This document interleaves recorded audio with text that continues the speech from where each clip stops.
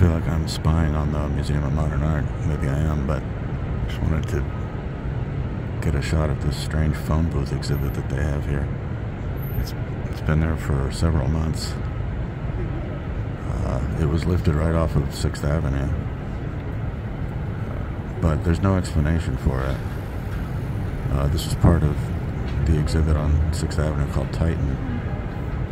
And on the sides of several phone booths on 6th Avenue, uh, Bree Zucker was the curator of an outdoor exhibit where she solicited artworks from several, uh, several, you know, A-list artists.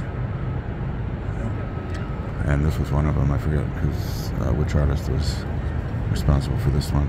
And from here, you can't see the art pieces that are on the advertising panels.